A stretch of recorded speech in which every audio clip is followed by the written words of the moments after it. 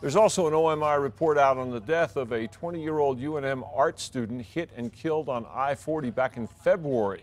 It says Jennifer Bobrick had been drinking and doing drugs before she tried to run through traffic near Carnuel in the middle of the night. Her car was found crashed into a boulder along the frontage road.